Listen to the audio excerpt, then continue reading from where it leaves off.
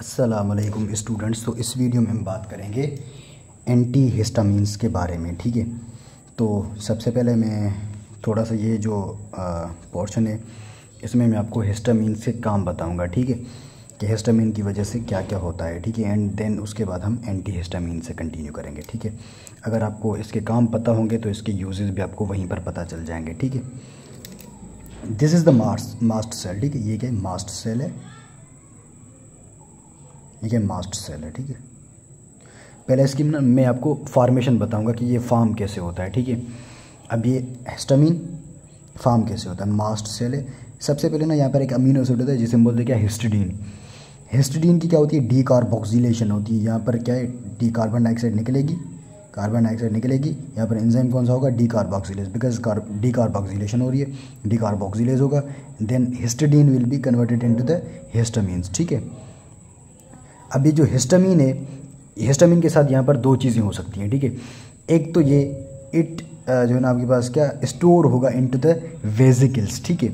यहाँ पर वेजिकल में वेजिकल में स्टोर हो जाएगा, या इट विल बी इनएक्टिवेटेड ठीक है? ये दो चीज़ें हो सकती हैं, ठीक है? इसको जो इनएक्टिवेट करेगा वो एक एंजाइम होता है जिसे हम बोलते हैं क्या? अमाइन ऑक्सीडेज यहाँ पर एंजाइम होता है कौन सा? अमाइन ऑक्सीडेज ये इसको क्या करेगा? इनएक्टिवेट करेगा, ठीक है? या फिर ये वेजिकल में स्टोर हो जाएगा। जब भी वेजिकल में लेट सपोज़ वेजिकल में स्टोर हो गया, ठीक है? अब वेजिकल में स्टोर हो गया, अब हमने क्या करना है? इस वेजिकल से इसको निकालना है। तो यहाँ पर इसको हम स्टिमुला देंगे। कौन से स्टिमुलस होते हैं जो इसको, जो इस सिंथेटिक सिंथेटिक आपके पास जो हिस्टामीन है, वो आपके पास स्टोर हुआ हुआ है, जिसमें इन टू द वेजिकल्स उसको जो है ना रिमूव करने में, उसकी जो है ना डीग्रेन्यूलेशन करने में। ये हिस्टामिन के ग्रेन्यूल्स हैं, इनको डी ग्रेन्यूलेट कौन सी जो ना स्टिमुलस करेंगे, आपके पास नंबर वन आता है क्या कोल्ड नंबर टू वेनम्स जो आपके पास वेनम है वेनम भी आपके पास क्या होता है, एक जो ना N O M venom and toxin ठीक है?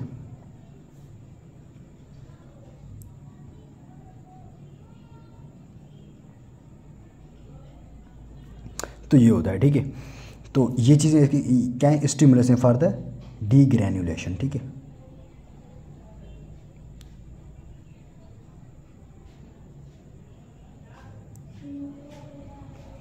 आई होप कितना क्लियर हो गया होगा, ठीक है?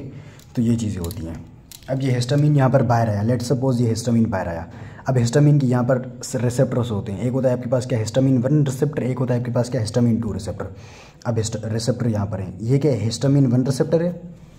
ये क्या है? हिस्टामिन टू रिसेप्टर है। अब histamine two receptors are specifically are specifically present in GI tract वो आपके पास जीआई ट्रैक्ट में प्रेजेंट होते हैं, ठीक है?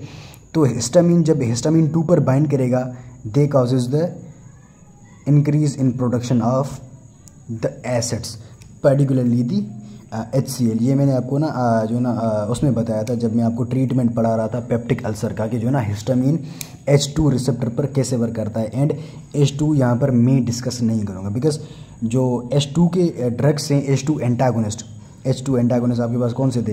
रेनेटिडीन सिमेटिडीन एंड नेजाटिडीन ठीक है? ये तीनों ड्रग थे उसमें एग्ज़ाम्पल थे।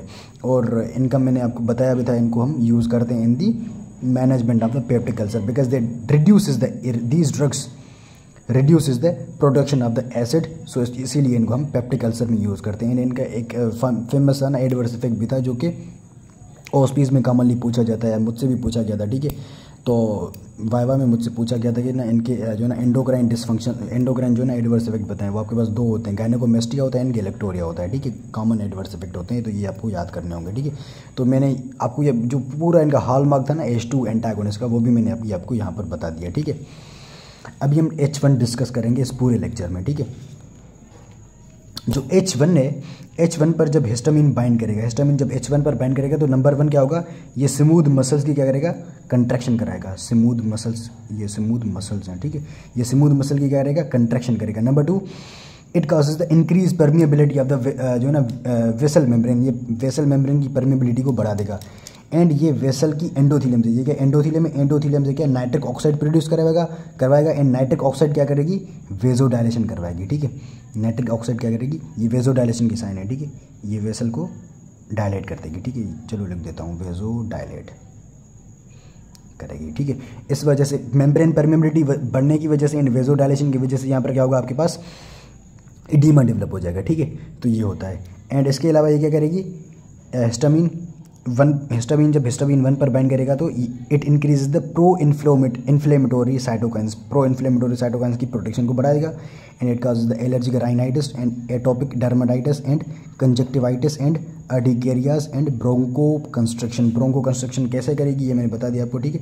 इसकी ल्यूमिन इसकी यहाँ से जो ना फ्लूड एक्स्ट्रा वजेट करेगा, उसकी वजह से भी ल्यूमिन की ऑब्स्ट्रक्शन होगी एंड मसल की कंट्रक्शन की वजह से भी उसकी ब्रोंक्यूल की कंस्ट्रक्शन हो जाएगी, ठीक है? एंड इट जो ना take part in the asthma and it it take part in the जो ना एनाफेलेक्टिक रिएक्शंस ठीक है? तो ये सारे रिएक्शंस कहाँ पर होंगे?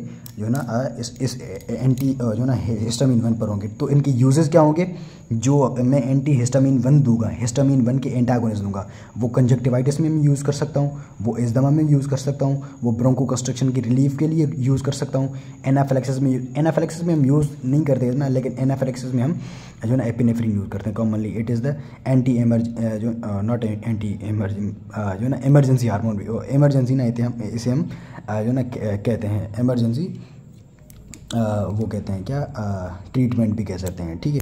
अगर आपके पास एनाफ्लैक्सिस रिएक्शन में आ रहा है तो इसको हम हिस्ट जो ना एपिनेफ्रिन के थ्रू ट्रीट भी करते हैं, ठीक है? एनाफ्लैक्सिस में हम, इसको एच वन को इतना वो नहीं करते कंसीडर नहीं करते, ठीक है? एपिनेफ्रिन यहाँ पर देते हैं। एजदामा में कर सकते हैं एंड अर्टिकेरियाज में भी करते हैं इसको, ठीक है? एंड राइन एलर्जिक राइनाइटिस में भी करते हैं एंड जो ना इन्फ्लेमेटरी रिएक्शन में भी करते हैं, ठीक है? जहाँ पर इनको कम करते हैं, ठीक है? एंड एटोपिक डर्माटाइटिस में भी करते हैं, ठीक है? तो ये जो इफ़ेक्ट्स इसने यहाँ पर बताए हैं, इन्हीं में हम एच वन के एंटागोनिस्ट को यूज़ करेंगे, ठीक है? आई होप कि क्लियर हो गया होगा आपको। अच्छा ये क्या है? ये हिस्टामिन के एक्शंस हैं, ठीक है? ये हिस्टामिन करवाता है। जो ड्रग दूँगा वो मैं, वो इनको नहीं होने देंगे, ठीक है? तो मैं ऐसे एक स्टूडेंट को पढ़ा रहा था, वो समझ रहा था कि जो ये जो है ना हिस्टामिन देंगे। हिस्टामिन ना ये इन सबको प्रिवेंट करेगा, ठीक है? लेकिन ये हिस्टामिन खुद करवाता है, ठीक है? आप ऐसा नहीं करना, ठीक है? एक अच्छा उसके अलावा हम हिस्टामिन लेट सपोज़ दे रहा हूँ मैं आईवी किसी को दे रहा हूँ, खुद ही दे रहा हूँ, किसी को, ना, दुश्मनी के साथ, दुश्मनी में, ठीक है?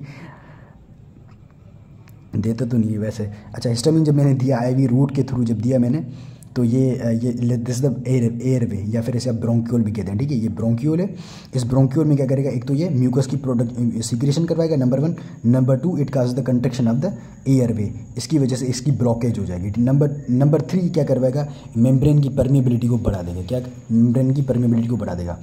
एंड ये increase the sensory nerve endings मैंने आपको उसमें भी बताया था किसमें? जो पहले वाला वीडियो था वीडियो था हमारा, वो कौन सा था? ट्रीटमेंट ऑफ़ द एज द mine the C O P Ds में मैंने बताया था आपको कि जो ना हिस्टामिन जब आता है हिस्टामिन बाइंड करता है सेंसरी नर्व पर, वो मैसेज लेके जाती है ब्रेन में ब्रेन से फिर वेगस नर्व आती है, वो आपके पास वेजो कंस्ट्रक्शन वगैरह करवाती है, ठीक है? वो मैंने वहाँ पर बताया था। तो ये एक्शन हैं किसके? हिस्टामिन के। आई होप कि क्लियर हो गया होगा आपको, ठीक है? उसके अभी आ जाएँ किस पर? एंटी जो है ना हिस्टामिन पर या फिर एच वन ब्लॉकर पर। क्या एच वन ब्लॉकर पर? H one blocker H one receptor के ब्लॉकर इसमें आपके पास ना फ़र्स्ट जनरेशन ड्रग्स आते हैं एंड सेकेंड जनरेशन ड्रग्स आते हैं, ठीक है? अच्छा यहाँ पर ना मैंने ये जो ड्रग्स लिखे हैं ना इनकी, यहाँ पर लेट सपोज़ मैंने साइक्लेजीन लिखा है मैक्लेजीन लिखा है, इनसे प्रोहेप्टिडीन लिखा है सेकंड जनरेशन में लोराटेडिन डेस लोराटेडिन एंड फेक्सोफेनिडीन लिखा है। तो ये ड्रग्स ना मैंने आपको बस सिर्फ़ ओसपी पॉइंट ऑफ़ व्यू के हिसाब से ना याद करने के लिए गए लिखा है because these are these drugs are easy to remember ठीक है? बकिया भी इनमें ड्रग्स आएँगे, ठीक है? लाइक आपके पास एजी लास्टिन आएगा कीटोटिफिन आएगा ओलोपेटेडिन आएगा एंड हमारे पास प्रोमेथेजन आएगा डाइफ डाइफेन हाइड्रामीन आएगा डॉक्सीसाइकिलिन डॉक्सिलामीन आएगा बहुत सारे आएँगे ठीक है?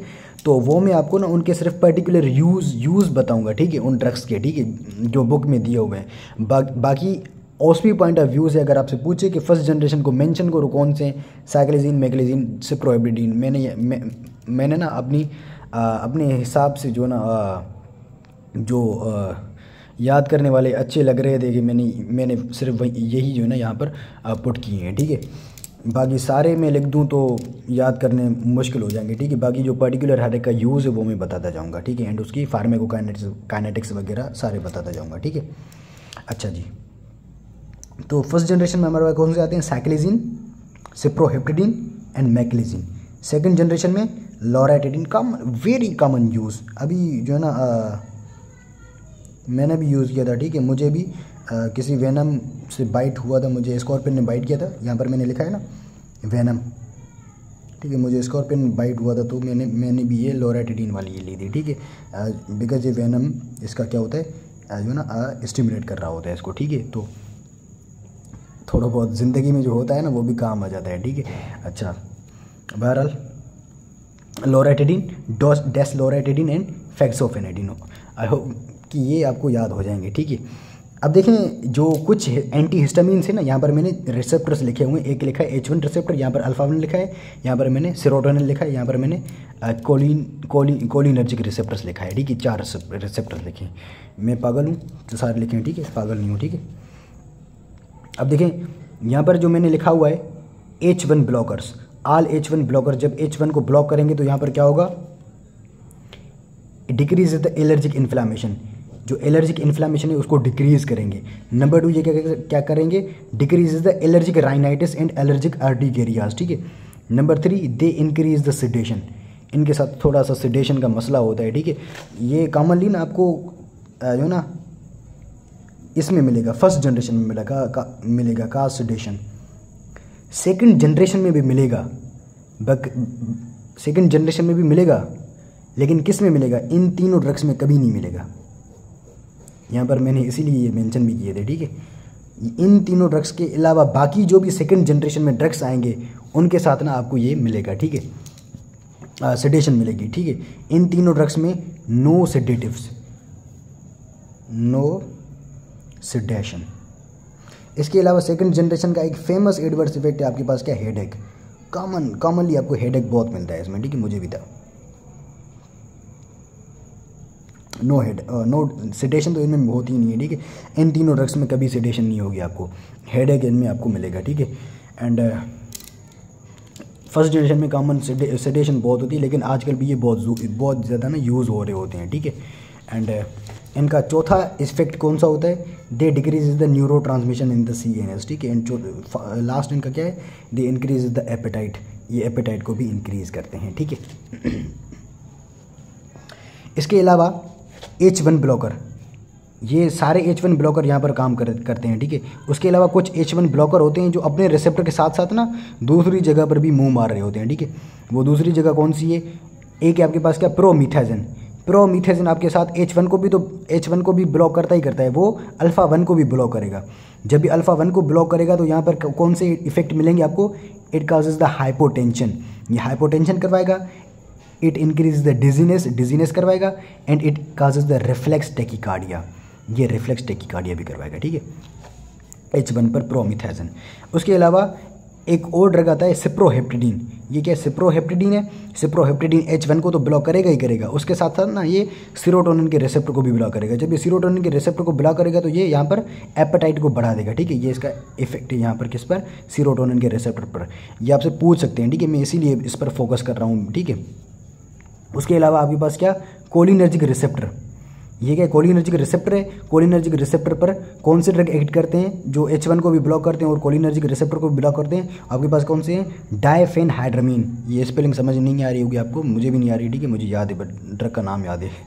डायफेन हाइड्रामीन और प्रोमिथेजन ठीक है? ये दोनों drug promethazine promethazine alpha one को भी ब्लॉक कर रहा था। ये कोलिन कोलिन जो है ना कोलिनर्जिक रिसेप्टर को भी ब्लॉक करेगा, ठीक है? कोलिन के रिसेप्टर को जब जब ये ब्लॉक करेगा तो यहाँ पर आपको क्या मिलेगा? ड्राई ड्राइनेस ऑफ़ माउथ मिलेगी, जिसे हम ज़ीरो ज़ीरो स्टोमी कहते हैं एंड यूरिनरी रिटेंशन मिलेगा एंड साइनस टेकिकार्डियास मिलेंगे, ठीक है? तो ये इफ़ेक्ट आपको याद करने हैं, ठीक है? सीरोटोनिन का तो मस्ट जो है ना मोस्टली पूछा जाएगा आपसे सीरोटोनिन तो जो है ना, आपने याद करना ही करना है। बाकी या करें या नहीं करें सीरोटोनिन आपसे पूछा जाएगा। एंड ये भी आपको एच वन के तो याद करने हैं ना, ठीक है? एच वन को जो ब्लॉक करेगा रिसेप्ट ड्रग्स ठीक है? अभी आ जाए इनके यूज़ पर, ठीक है? अभी इनके यूज़ बताता हूँ अभी आपको मैं। इनको हम यूज़ करते हैं in the motion sickness but यहाँ पर एक कंडीशन आती है, वो भी बताता हूँ। कंडीशन कौन सी है? They are taken prior to the travel motion sickness आपको मोस्टली ट्रेवल में मिलती है, ठीक है? But taken prior to the travel travel से पहले पहले आपको ये लेना चाहिए, ठीक है? जिसको भी खतरा हो, ठीक है? वो वो ले ले इसको। मोशन सिकनेस का तो वो ये ना एच वन ब्लॉकर ले ले, ठीक है, कोई भी हो लोरेटिडीन हो या फिर डेस लोरेटिडीन या फिर मैकलेजिन या साइक्लेजिन ठीक है? अच्छा इसमें एक और ड्रग भी देते हैं हम, वो आपको बताना चाहिए मोशन सिकनेस में, ठीक है? यहाँ पर मैं हिंट दे देता हूँ आपको एम वन ब्लॉकर है, ठीक है? एम वन ब्लॉकर है, नाम लिख दें कमेंट में, ठीक है? इसका नाम है आपके पास क्या? इसकोपोल अमीन। इसकोपोल अमीन, ठीक है? ये हम यूज़ करते हैं इसमें, ठीक है? ये भी हम मोशन सिकनेस में यूज़ करते हैं, ठीक है? एंड इन दोनों ड्रग्स को हम एज अ एंटी एमेटिक भी कर यूज़ करते हैं M one and H one को, ठीक है? ये भी मैंने आपको उसमें बताया था। एंटी एमेटिक जो आपके पास, वो आती है आपके पास क्या? वो जो related to the chemo receptor chemo receptors and जो ना वेस्टिबुलर पाथवे के साथ साथ जो रिलेटेड होती है कीमो जो ना एम एस एस उसमें भी हम इसको यूज़ करते हैं chemo receptor and vestibular pathway के साथ साथ जो नोजिया एंड वोमिटिंग रिलेटेड होती है, उसमें भी हम M one blocker scopolamine and H one blockers को यूज़ कर रहे होते हैं, ठीक है? ये मैंने लिखा नहीं है, लेकिन आपको मैंने एंटी इमेटिक ड्रग्स में बताया था, ठीक है? उसके अलावा इसका एक और यूज़ है एलर्जिक इन्फ्लामेशन उसमें यूज़ करते हैं, ठीक है? अच्छा उसके अलावा हमारे पास ओरल एंटी हिस्टामीन्स आते हैं। Oral A is for anti H is for histamines oral histamines को हम यूज़ करते हैं in the allergic rhinitis and urticarias oral histamine आपके पास और ओरल एंटी हिस्टामिन आपके पास लोराटिडीन आती है ठीक है? टेबलेट हाँ, के साथ आती है। मैं इसका ब्रांड नेम भूल गया हूँ ठीक है? अच्छा तो ओरल हो गया। इसका एलर्जिक राइनाइटिस एंड अर्टिगेरियाज में यूज़ करते हैं ठीक है? एंड ऑप्थेलमिक ये कभी नहीं बोलना ophthalmic are use for the conjunctivitis यहाँ पर मैंने बताया था ना कंजक्टिवाइटिस करवा रहा था तो इसको हम यूज़ करते हैं इन द कंजक्टिवाइटिस लेकिन यहाँ पर ड्रग्स कौन से आएँगे? तीन ड्रग आते हैं जो कि ऑप्थेलमिक सोल्यूशन में होते हैं, ठीक है? एक आता है एजी लास्टिन कीटोटिफिन आता है ओलोपेटिडिन आता है, ठीक है? एजी लास्टिन कीटोटिफिन एंड ओलोपेटिडिन ये तीनों आपके पास ऑप्थेलमिक में यू ऑप्थेलमिक सॉल्यूशन में होते हैं. एंड एक और चीज़ यहाँ पर आपको मैं क्लियर कर दूँ, एक ये एम में पूछा जाएगा आपसे. Eli azelastine and ketotifen they are also known as the mast cell stabilisers इनको हम मास्ट सेल स्टेबलाइजर भी कहते हैं ठीक है? मतलब ये मास्ट सेल को स्टेबलाइज कर रहे होते हैं उनको uh, ज़्यादा ज़्यादा ना उनका uh, वो नहीं होने देते जो काम कर रहे होते हैं ठीक है? मास्ट सेल जो एलर्जी रिएक्शन वगैरह करवा रहे होते हैं तो ये उनको स्टेबलाइज कर रहे होते हैं ठीक है? अच्छा एक और इसका यूज़ है एनसोमिया एनसोमिया एनसोमिया में कौन से ड्रग यूज़ करते हैं हम? Particularly diphenhydramine and doxylamine use करते हैं। डायफेन हाइड्रामीन एंड डॉक्सिलामीन यूज़ कर रहे होते हैं, ठीक है? आई होप कितना क्लियर हो गया होगा आपको। एंड यहाँ पर यहाँ पर मैक्लेजिन का मैंने एक और यूज़ नहीं लिखा। It is use in vertigo as well ये वाटाइगो में यूज़ होता है, ठीक है? वाटाइगो में यूज़ करते हैं इसको मैक्लेजिन को हम, ठीक है? वाला अच्छा। तो ये हमारे पास हो गया। एंड uh, अभी मैं आपको इसकी फार्मेको फार्मेकोकाइनेटिक्स बताऊँगा सारे ड्रग्स की ठीक है? तो फार्मेको फार्मेकोकाइनेटिक्स इनकी इनकी क्या है? ये हम कॉमनली ओरल रूट के थ्रू ले रहे होते हैं जो ऑप्थेलमिक यूज़ है वो भी हम करते हैं लेकिन कॉमन ओरल होता है ठीक है? ओरल आपके पास आया ये स्टमक में आ जाएगा स्टमक क्या आने के बाद ये ब्लड में आ जाएगा ब्लड में आने के बाद इसकी जो हाफ़ लाइफ होती है ब्लड में वो twelve to twelve to twenty four hours होती है। तो इसका जो डोज होगा वो हम one tablet for one day भी दे सकते हैं ठीक है? बिकॉज़ इसका इसकी जो हाफ़ लाइफ है वो twelve to twenty four hours है ठीक है? And it can cross the blood brain barrier as well ये ब्लड ब्रेन बैरियर को भी क्रॉस कर रहे होते हैं ठीक है? एंड uh, ये जो ड्रग्स हैं इनमें आपके पास क्या है? फेक्सोफेनिडीन फेक्सोफेनिडीन की फीकल रूट के फीकल रूट के वाया जो है ना आपके पास इसकी एक्सक्रीशन हो रही होती है। एंड सेट्रजीन एंड लीवोसेट्रजीन की आपके पास यूरिनरी रूट के थ्रू जो ना आपके पास एक्सक्रीशन हो रही होती है। ये देखें, मैंने वही ड्रग मेंशन किए हैं जिनको पर्टिकुलरली बुक में मेंशन किया हुआ है तो इनके साथ साथ ना आपको पूरा एक क्लिनिकल दे देंगे, ठीक है? सिट्रजीन और लीवोसिट्रजीन ये रीनल रूट के थ्रू आ रहे हैं तो इनकी टॉक्सिसिटी अगर बढ़ जाएगी, वो किसमें बढ़ जाएगी? वो जब रीनल फेल्यूर होगा, ठीक है? वो तो तो इस तरह से आपको ये जो है ना क्लिनिकल बना बना के देंगे, ठीक है? एंड यहाँ पर ये जो लोराटिडिन एंड डेसलोराटिडिन है, इनकी यहाँ पर मेटाबॉलिज्म होती है। मेटाबॉलिज्म इनकी कौन करता है? Cytochrome P four fifty enzyme इनकी करता है। यहाँ पर इनकी मेटाबोलाइट बन जाएँगे, ठीक है? ये दोनों इनकी मेटाबॉलिज्म होती है। तो ये आपको याद करना है इतना, ठीक है? सिट्रिजिन लेवोसिट्रिजिन तो आसान है यार, ठीक है? इनकी रीनर रूट के थ्रू होती है जो ना एक्सक्रीशन होती है। And C C is for जो है ना, आपके पास क्या? सिट्रिजिन एंड लेवोसिट्रिजिन सी के से जो ना, किडनी आती है, इसको सी कर दें, ठीक है? अच्छा उसके बाद ये जो फेक्सोफेनिडीन है, fee F S for fexo F S for fees ठीक है? लोरेटिडीन एंड डेसलोरेटिडीन ये ये याद करना बस, ठीक है? ये इनकी मेटाबॉलिज्म होती है इंटर द लेवर ठीक है? एंड इन सबके एडवर्स इफ़ेक्ट क्या है आपको? कॉमनली एडवर्स इफ़ेक्ट मोस्टली आपको सेडेशन मिलती है, ठीक है? ये याद करना एंड ड्राइनेस ऑफ़ माउथ ठीक है? ये याद करना बिकॉज़ दे आर जो है ना आपके पास कि they blocking the cholinergic receptor से एज वेल ठीक है? एंड ये यूरिनरी रिटेंशन करवाते हैं ब्लड विजन करवाते हैं एंड डर्माटाइटिस भी डर्माटाइटिस कब होती है जब ये इनको हम टॉपिकल यूज़ करेंगे, ठीक है? टॉपिकल यूज़ के साथ होती है। And no use with mono mono amine oxidase यहाँ पर मैंने उल्टा लिखा है मोनो अमीन ऑक्सीडेज इनहिबिटर्स ठीक है? मोनो अमीन ऑक्सीडेज इनहिबिटर के साथ इसको यूज़ नहीं करना कभी भी, ठीक है? इनके साथ ना ड्रग एंड ड्रग इंटरेक्शन इनका बहुत कुछ हो बहुत होता है, ठीक है? लव करते हैं इनके साथ। ठीक है आई होप कि क्लियर हो गया होगा आपको। अगर इनका डोज बढ़ जाए ओवर डोज हो जाए, क्या? इनका जब ओवर डोज होता है they cause the acute poisoning क्या? अक्यूट पॉइजनिंग करवाते हैं, ठीक है? And it is common in children में, यहाँ पर चिल्ड्रेन लिख रहा हूँ, ठीक है?